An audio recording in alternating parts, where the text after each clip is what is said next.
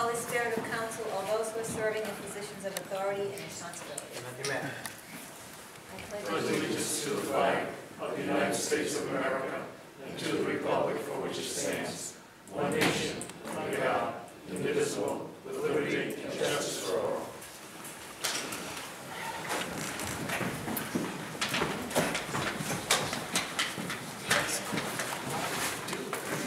Madam Clerk, roll call vote, please. Ms. Alves? Mrs. NATO? Here. Mr. Solly? Here. Mr. Zalinski? Present. Mr. Boucher? Present. Okay, um, I'd like to take as item, uh, item number five, if I may, next, presentation and other post-employment benefits OPEB funding program, Rhode Island Local Trust Risk Management. A discussion by council, vote of their action, authorization for signature. We have uh, an individual here to explain this, uh, explain this to us, and due to the inclement weather, and she lives down in South County. Uh, I'd like to give her an opportunity to get home safely. Very much appreciated. Okay, okay, uh, motion to move it up. Second. Okay, motion by the chair, second by Councilman Stoll. Any further discussion? Hearing none. Now clerk, roll call vote, please. Ms. Alves? Yes. Mrs. NATO? Yes. Mr. Solly? Yes. Mr. Zalinski? Mr. Yes.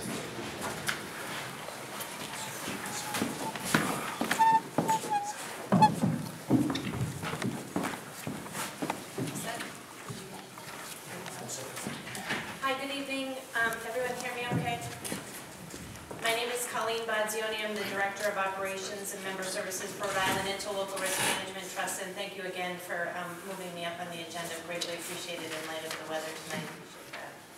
Um, So what we've, um, I've been invited here to speak to you about is other post-employment benefits. Um, Our organization, and I like to say it's the big T versus the little t, the trust, the Rhode Island Interlocal Risk Management Trust. Currently, right now, we provide property liability, workers' comp, health and dental for the town of North Smithfield. And one of our newer programs that we've offering to our membership as a result of um, members asking for help and assistance in this area is an OPEB funding program. And so uh, our first member joined uh, June 4th, 2015, so we're about 10 months old now. Uh, We have 16 members as of last week. We just had our newest member join. And we have about $25 million right now in contributions that have been made to the OPEB funding program. Um, This is meant to be a very turnkey operation. I did provide you packets of information um, in, uh, so you can follow along if you, if you so choose to. What we've done is the trust, the Big T Trust, um, is the program administrator for the Little T OPEB Trust. Um, Basically, we looked at all options of whether or not we should be hiring uh, staff to support the program that we have, or if it would make sense for us to contract with an outside entity that has a better expertise in doing so. We chose the latter after our um, investigation of all options, and we've partnered with PARS, which is Public Agency Retirement Services. They have uh, been in the business for over 30 years in providing OPEB trusts to public sector entities. Through our relationship with PARS, we are then able to access our investment manager of Vanguard and um, our trustee and custodian, which is US Bank. Um, I'm not sure that our individual members would be able to access those uh, entities individually. You would with PARS, but not with um, Vanguard or US Bank directly for um, an OPEB trust.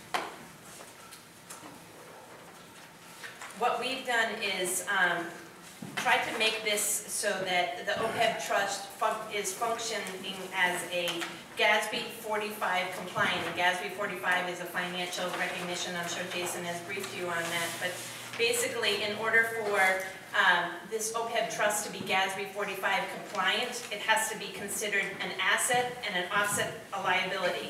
Basically, it has to be considered an irrevocable trust, and it has to be held entirely for retiree health benefits only, which would be vision, life, I'm sorry. I'm just going to cut it for a quick second. Just to explain how we currently have this, all we have is an operating line item to fund a future trust. So currently, everything that's passed in our operational budget for OPEB is stuck in a side savings account at a point, whatever, five percent earnings. It's not an entity like this trust that's set up separate, that operates as its own entity. Right now, we just have a savings account with money in it. So just so you know, we're not here yet, but this is where we want to go. And we'll circle back on why that's important and what the differential is in that when we get to the funding component of it. But basically, this, our organization has set up this OPEB funding trust, as I mentioned, as a result of member requests. We've also worked closely with the state, the the governor's office, with, um, the treasurer's office to make sure that they are okay with us setting this up. Back in 2012, we had legislation changed for us so that we were able to actually offer this type of program to our members.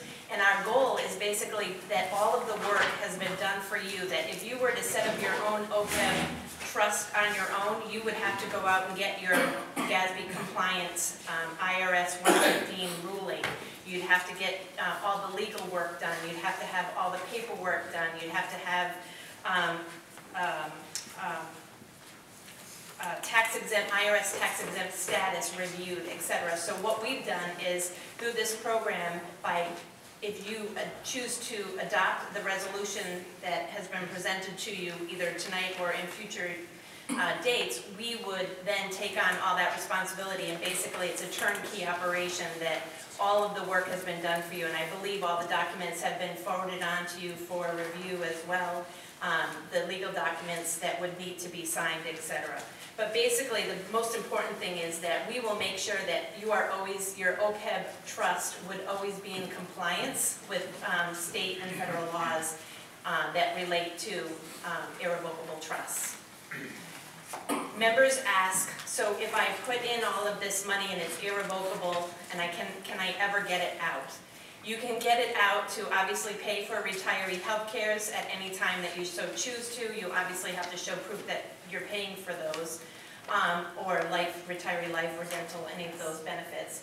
Secondly, um, if you have funded your OPEB liability and there is no more liability for the town, we obviously do not need to keep that money anymore and it is returned to the town um, once your OPEB liability has been satisfied, which is a good thing.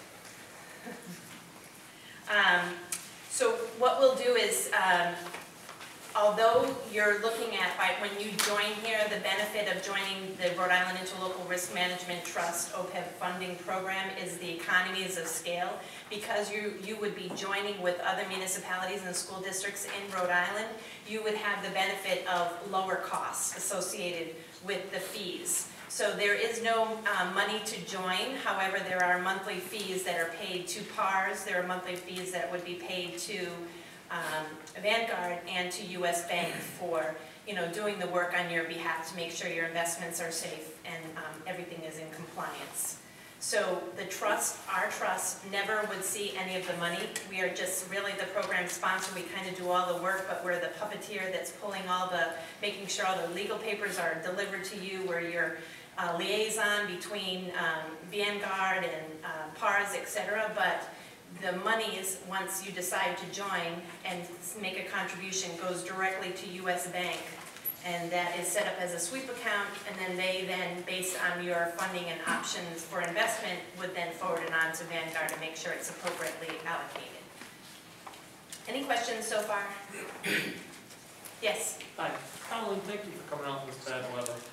Uh, And then I'm looking at this, I'm certain now the financial planner, but when I look at PARS Direct trustee Service Fee Schedule, you said there were 16 members in currently. Yes. Do we have an asset, how how much in assets did these 16 members bring?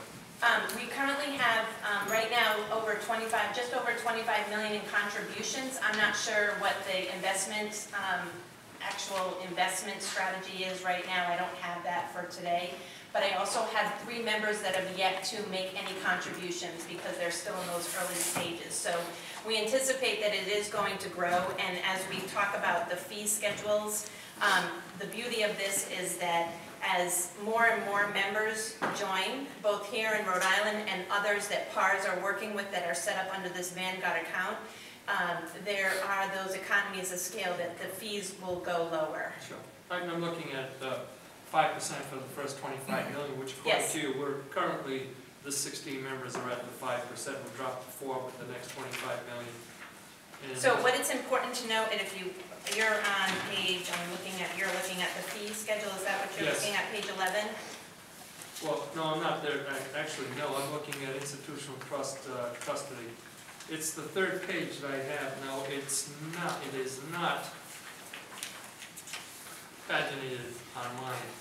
It just says, uh, institutional trust custody, PARS direct trustee service fee schedule. Oh, I, I, you're looking at the actual legal document that would be signed, okay, good for you.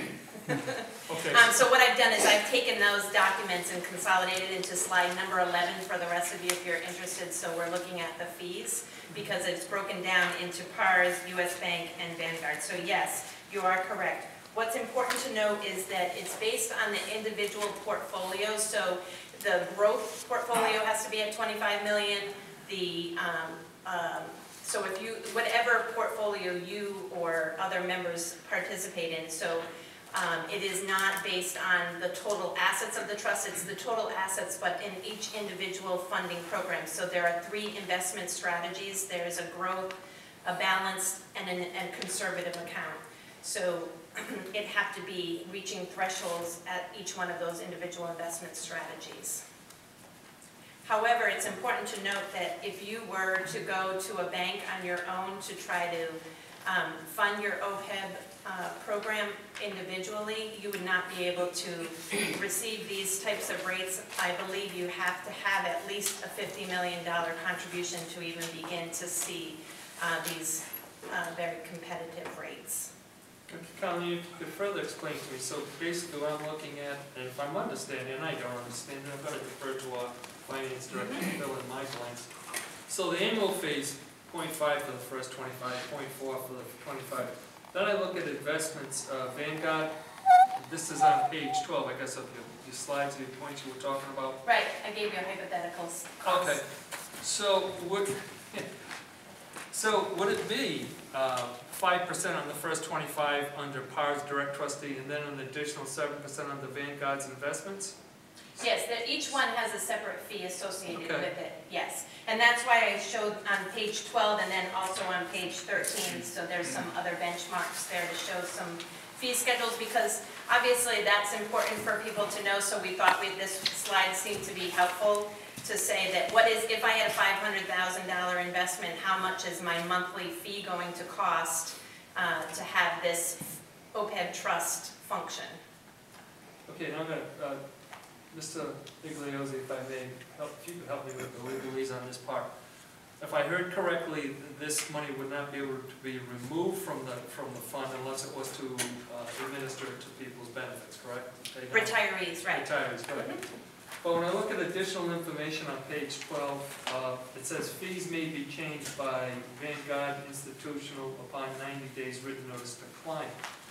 Is there an escape clause in there for the town? If, say that So the yes, fees there's... go up, can we, can we escape from this deal? Yes, you have to give a 30-day notice. So if you said in 30, if you decided that you didn't want to be part of this program, the only problem, not problem, the only requirement is if you chose not to participate any longer in this OPEB funding program, you'd have to give us 30 days notice, but you have to then move your money to another irrevocable trust. It can't just go back to the general fund or to, you Okay. know, just a private bank account. It has to go to another irrevocable trust. Right, And I, I just wanted, Jason, have you had a chance to review all this? Is this uh, reflective of what's out there for us, uh, the competition? It's, it's, um, the, the, the fees, yes, the difference here with why I'm presenting or wanted the trust to come in with this presentation is the economy of scales and the legal rep, representation that they're gonna give to us to make sure all the benchmarks are met with IRS regulations, with trust regulations. If we were to do this in-house, we do not have an expertise to create and administer this plan. Um, Right, and, and one of the other things is we periodically will bring in Vanguard and PARS to come in to actually make presentations to the members to give market outlooks, performance, and I know Jason has been in attendance for those, and it's been very helpful for our members because they are then able to access these individuals, and they are also available by phone. Um, and, you know, depending upon if we needed them to come out again, we're actually scheduling them to come out in June again to come give us another outlook of uh, what the- each individual pools look like and what their market strategies are going forward, market outlook. Um, I think it's also important to note that um, we did have um, one member that is a current member now that actually did all of this on their own, uh, probably five or six years ago, that they set up their own OPEB trust. And when this um, opportunity came along, they did some side-by-side analysis to see if there was savings for them. And what their ultimate um, analysis was, is that they saved the town about $20,000 a year by moving their OPEB program to um, the trust OPEB funding program, so they closed out their OPEB trust. We transferred all the money over, and so the town is paying lower fees by doing that. One more question, Mr. President, if I may. Mr. Igliozzi, have you looked at this? I looked at it briefly, but I was actually anticipating the presentation. Um, I, I looked at the agreement briefly, but the, um, obviously this is, as uh, Jason pointed out, it's got to do with retirement benefits, um, rather than pay from your, the key is, do you want them to be in your general, the fundamental question is, do you want them to be part of your general fund, or do you want them to be in this trust that constitutes both an asset and an obligation, liability and an asset for the town, which once you put the money in, you can't take it out? Or do you want to pay it as you go, which is what you're doing now? And I think that's what really I want people to see is what the dollar benefit is to go from a pay-as-you-go that we are now to the trust. Ultimately, the trust is a self-sustaining entity. The earnings on the investments pay for the retirees. So the hope is at some point in the future, the six hundred eighty-eight thousand for retiree health care we currently have in our operating budget goes away. I think a good um, example of that is um, slide number nine um, in your presentation packet. And what we've tried to do is, um, just as Jason was um, alluding to, is what is the impact of pre-funding? So right now, um, as I'm sure Jason has told you, in your financial statements, there's basically a footnote of what your OPEB liability is. However, moving forward in um, coming years, I believe it's, uh, if it's not 2016, it's 2017, I believe, that We're adopting for sixteen for this. 16, Yeah. so that you would have to actually, um, with GASB 75 changes happening, that they are actually, your OPEB liabilities is actually going to be shown as a liability on your um, financial statements. So there's another benefit for you to, you know, move it out of just a bank account into uh, an OPEB trust, because if you look at page number nine, the benefit that you receive, and what we've done is this is actually based on the town of North Smithfield's actuarial results um, as of 2014, and which is the most recent, because they're only required to be done every two years. Um, So what we've done is, right now, the unfunded actuarial accrued liability is about um, 7.1 million, which is the pay-as-you-go, which is what you're doing now. Should you pre-fund your OPEB trust, you will see that there's a discount rate of about 7%, so your uh, unfunded actuarial accrued liability then reduces down to $5.5 million. So just by taking these small steps to pre-fund, you can show that you're reducing your ultimate liabilities. And basically, you'll see on the bottom line is that the annual required contribution, if you were to make that based on these actuarials, and I will tell you that most cities and towns are not making the, act- the annual required contribution, uh, so you're not alone, it would, you would have to make a seven hundred and eighty-eight thousand dollar just to meet your required contribution. If you pre-funded, um, that required contribution would reduce to six hundred and eighty thousand. So there are some benefits, you can look to see um, the percentage changes that is reflective by just doing these small amounts each year in funding for your OPEB liabilities.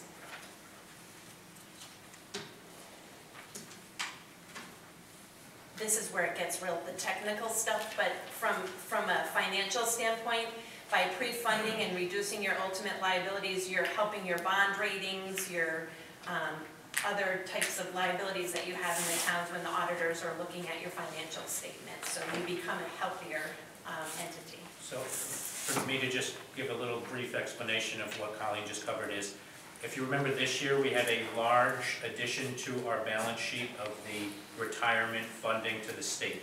Yes. Historically, it was never on our balance sheet. This year, it became as a requirement to put on your balance sheet. It's about $20 million for us we had to add. This is another seven per accounting rules that has to come on next year. If we have an asset that has an earning power, that seven becomes five point five. So when you're adding seven million to your liabilities in your balance sheet, if we have a pre-funded asset that has an earnings power, the liability goes down by about one point six million. So it's value there as well as ultimately to try to get out of the operational funding of retirement benefits. There, there are some members that have asked about if you can, you know, similarly to how you do pay-as-you-go now, you can, some of them said, well, what if we put all of the money in and then, um, you know, withdrew at the end of the, at the end of the quarter or at the end of the year? Um, What is the benefit? Well, the benefit is if your investments go up, then you're going to be, you know, making a little bit of money. But this is truly meant to be a long-term solution where you're going to see the savings as a long-term solution. It's not meant to be the quick fix, although it can be used to help um, fund that. And I will tell you, there, there is no requirement that once you join that you have to make an, uh, a contribution. There's no minimum that you have to submit. If, you know, if the town puts it into their budget to submit it over, then uh, that's a great thing. I think it's a great first step. But we don't have a, a a- a contribution amount that is required. This is a very easy program that sets up that once the resolution is passed, literally within two weeks, your OPEB trust would be set up. And um, Jason would be as the fund uh, or plan administrator for the town, so he would be the one that would have to sign documents as well as the council president would have to sign a document because that resolution gives the binding um, authorization for Jason to be the plan administrator or the finance director essentially. And then basically from there, once the documents are set, we give you the, we get everything all um, put together and we say that the banks are ready to be funded and uh, the accounts are open and whenever you are ready, you can start to make contributions.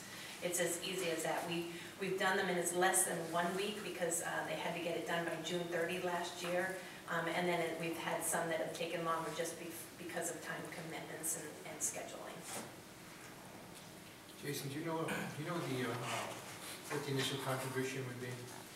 Um, As Colleen mentioned, there's no required contribution, but, um, uh, so circle back to what I said initially. We have set aside about 150,000 over the last three years to start to fund this post-employment benefit trust. So budget for 16, 100,000 was put in there. For 14 and 15, 25,000 each year was put in there. So we have 150 on hand that could start this contribution. Future contributions are related to what we put into the operating budget. So for the 16 budget, a tax rate already supports 100,000 contribution annually. So if we kept it 100, no change to the tax rate for next year. So it's already built into the rate based on our reserving money for this purpose in last year's budget, if that makes any sense, or what we've accumulated over the three years. All right, thank you. So that would be, I believe, what our initial contribution would be, this 150, based on budget approval, and then whatever we decide the budget for next year would be what the contribution would be, whether it's the same amount, whether it's less, whether this year you fund it zero. I mean, I believe that would be on the budget process to decide. Thank you. I I have a question, Mr. President. Go ahead, uh, Councilman. It's maybe because I don't understand this. Is there a protection here for the town of North Smithfield? If we pre-fund and we make pay- payments in OPEB, and other communities which have a live representation down on Smith Hill don't, where does that put us? Is this money gonna be, can that be touched by future legislation to help offset communities that don't fund OPEB? No, this is, um, this is your OPEB money, although you are reaping the benefits of the economies of scale of being with other municipalities and school districts. It is your own account, so you don't share liability with anybody else. Uh, the state has no investment or, uh, or no involvement whatsoever. We just needed a legislative change in order for us to start the operations of an OPEB funding program, and it has been, if you will, blessed by, uh, the state, the treasurer, um, the governor's office, et cetera, which was important because they were the ones that were pushing it. And if individual cities and towns did not start OPEB trust, they were going to enforce that it be done, and we wanted to keep it at the local level. And so that's why we did that. So, um, no, this is um, your money. You will receive a statement on a monthly basis that would show um, your account and uh, the fees that are associated with that, et cetera. You would also on a quarterly basis receive investment um, updates on the pool that you selected for investment purposes and how that fund is doing and and performing. And by you, I mean that they would go to the finance. I can understand it'll be a dedicated fund to whomever's in, in, in So, the, uh, right, so you basically, one of the things that you have to do if you decide to move forward with this is, you'd have to then pick, if you decide to move forward, that's step one. And then step two is you have to select what's your investment strategy. What, would you want to go a conservative approach, a balanced approach, or a growth appro- approach? I will tell you that, and it's, the trust will not uh, make any recommendations because that's not where our expertise is, and I think that Jason certainly will work with you on that. But um, we will provide you with what other, whatever information you need from, financially from each of the pools and how they are performing. But I will tell you that the majority of members have actually picked growth um, as their investment option, which was a little bit of a surprise to us. Um, They are spread out, we have some that are in balance and a couple that are in conservative, but they are looking at it as a long-term funding option, so they're looking at growth. And they're all mutual funds within these individual um, investment options, so they're all individual uh, mutual funds.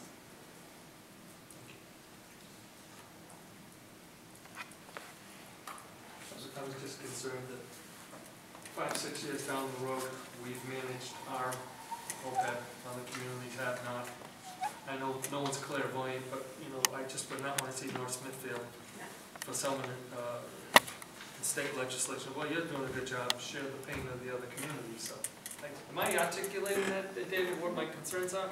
I think you are. I, I, I think, I think that's a very good point. I mean, I think fundamental question is, a trust has to be created for the benefit, these benefits. Is this the right vehicle? And it appears that, that, um, the interlocal the trust, trust. the interlocal trust has gone through the trouble of, of making this connection. Yes. This doesn't have to be your choice. You could go to A bank, a a bank on your own and create your own OPEB trust. So Right. that's your choice. You could go somewhere else completely. Right, This is just an exactly. option. Yeah, I understand, I guess what my concern is, if we don't know what could happen five, ten years down the road with So- other communities that have not, are we gonna be asked to help supplement them, even though we're, we've been taking care of our OPEB? That's, Well, and, and your actuary is only going to report on your actuarial status at this point. So there, there is not going to be a big trust um, actuary that's gonna come in and look at everybody, if that's maybe what you're thinking too, that the trust actuary would come in and look at the pool as a whole and say, well, you've gotta help out, you know, South Kingstown, and, and that's not the case. Um, You have your own actuary that's going to report on what your own, you know, annual required contribution is, and what you're required to do. Okay, so yeah, if not, okay, I'm just concerned what might happen with uh, legislation, that's all, thanks.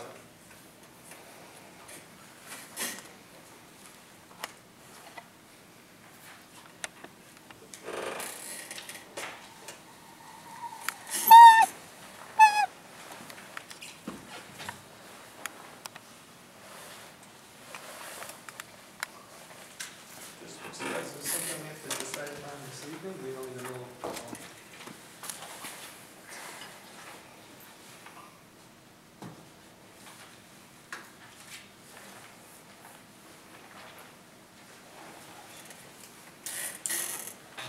Excuse me, Jason. Jason, wh- what's, what's our timeframe for, act- for acting on this? For acting on this, Yes.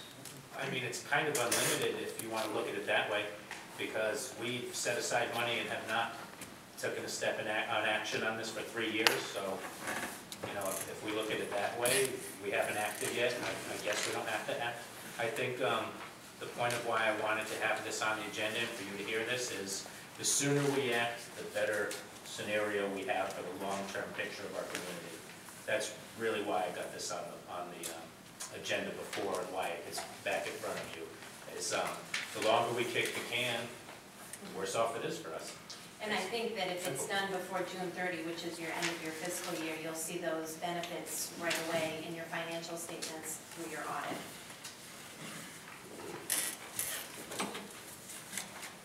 Does council have any more questions? Excuse me. Um, With the three different portfolios, um, which one would you lean towards? Growth or uh, growth balanced or conservative portfolio? Um, That actually would be a discussion that I'd want to have with everybody, because that's the direction that the town chooses. I wouldn't say I have a better choice than what you'd have as a choice.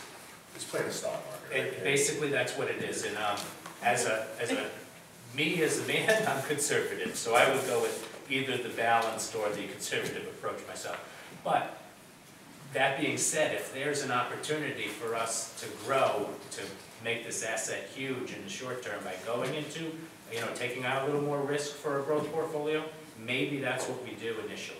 Well, I was gonna say, if you I just, take on the initial risk to get the reward, you build up your portfolio, and Correct. eventually it's zero percent down the road. Right. I mean, we're talking years down the road. Correct. Still gonna be. And I, and I will tell you that you're able to change your investment option at any time. Uh, we actually have one member that has changed it three times already. They've been in every investment option because they thought they wanted to be in growth initially, and then they went to balance, and then they said, no, we want to be in conservative. And, you know, it, it, there's a document, another document that has to be sent, signed, but within a day, we can make that investment option change. So you're not locked in to the you know, if, if, if you see that the stock market is not doing what you like and you'd like Is to change is there time restrictions on how you can change your investments?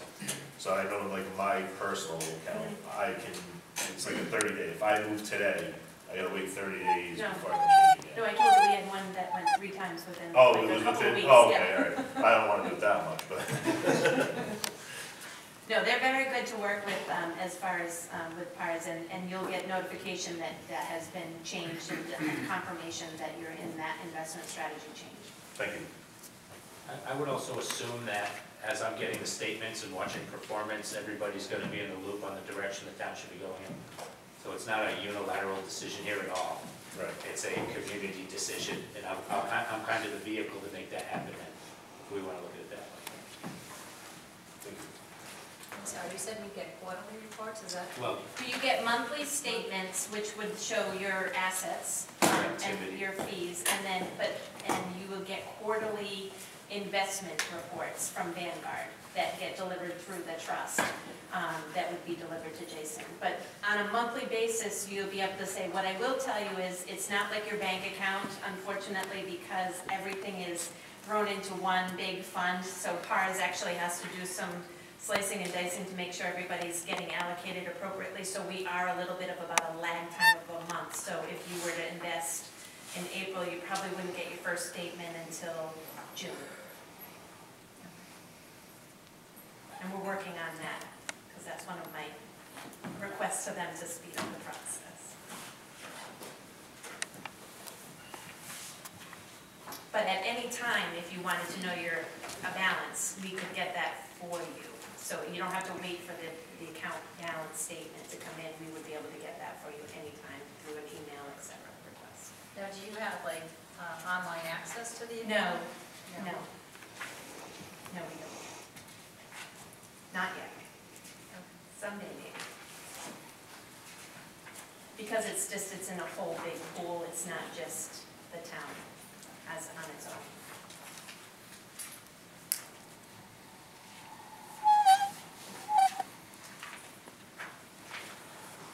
Any more questions?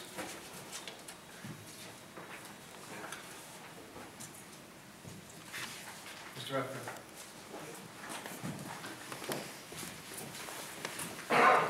Mike Krapko, Public Budget Committee. You could ask the Budget Committee to help you, I haven't seen the document. It sounds like an annuity. You've got three choices, and you're gonna put this money in long-term, you've got expenses.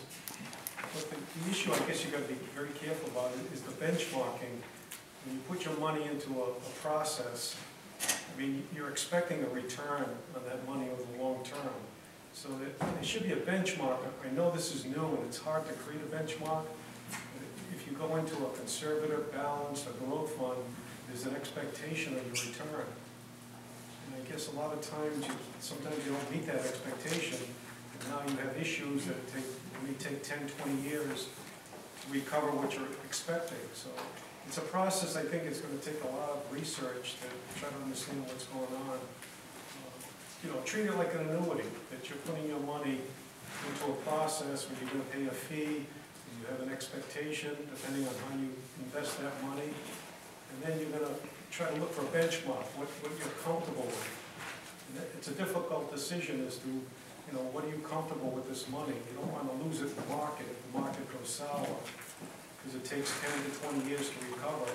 What happened in two thousand one took ten years to recover that loss in two thousand one. So it's, it's a process that, you know, it's something that, I'd be cautious tonight. I think it's gonna require a lot of review in the process. I was trying to understand the fee structure. I'm not sure what the return is. I mean, you have to pay these monthly fees. What's the net return on a monthly basis after you have to pay all these expenditures? Are you gonna end up with a quarter of a percent or half a percent in the process? I don't know. That's a discussion you need to, you know, continue. The other issue too is, at Smithfield, we're benefiting from the fact that we, we capped our liability on the teacher's side, on the school department side. It's a seven-year liability for health. The teachers can collect uh, retirement for seven years or age sixty-five. So we were very fortunate, we did cap the liability on the school department side. We haven't done that on the municipal side for police or municipal employees. But that's a way of reducing your liability, is to try to do what we did on the school department side by capping the liability with a, with a time limit of seven years or age sixty-five. It's a difficult process, we, you know, if we could spread that throughout the whole community, that would really cut down on the liability. When you talk about assets and liability, to reduce your liability from seven million to five point five, uh, does that happen immediately, or does that take a long period of time to reduce that liability? I'm not sure if there's a, a ten-year window, you're, you know, we're only putting a small amount of money into the program. It's hard to visualize, how do you reduce a liability of a million and a half if you're only putting a hundred fifty thousand into the program? I don't, it's, you know, my, my uh, comment would be, maybe you should ask the budget committee, Brian Ahern and maybe some other members, Beth Farisi and myself, whether we can help you to analyze the process. Thank you. Thank you, Mr. Rocco. Mr. President. Yes, Mr. Rapco, currently it's budget time, so do you think the budget committee would have that time to review this? Well, we should, I mean, we should put it on the agenda and take a look at it. I don't know what the expense, I have to ask Jason, what do we, what is our cash flow for the OPEB cost on, on an annual basis? Is it twenty-five thousand, fifty thousand For expense on it, for OPEB expense today? for OPEB expenses, pay as you go, it's six hundred eighty-eight thousand that we pay in retiree healthcare and, and, um, health and dental. For all, all, For all that goes through the town, the school side I don't have in front of me, so they're on their own. So the town is just six eighty-eight alone. six hundred eighty-eight thousand. Well, that- that's, Oh, it's that's six the eighty-eight pay as you go Plus, yeah. plus the hundred Yeah. of that Oh, fund right, that's OPEB. right, okay. So that's how you get the seven eighty-eight here. Yeah. So do we need a motion to ask the budget committee to, uh, take, to review this for us, for their opinion? I- that- That's my motion. I'm gonna second that. Motion Thank you, by- Mr. Rapco. Motion by Councilman Zawinski, second by Councilman Nato. Any further discussion? Hearing none, Madam Clerk, roll call vote, please. Ms. Alves? Yes. Mrs. Nato? Yes. Mr. Sol? Yes. Mr. Zalinski? Yes. Mr. Boucher? Yes.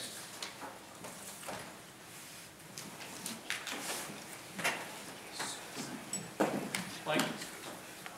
Yeah, Mike, you want to start with my copy? Yeah, that's what I was just saying, you can take my copy. In my copy, I don't do going? anything myself, it's hard. Just overlook my notes. Mine too, give to, uh, Mrs. Barisi.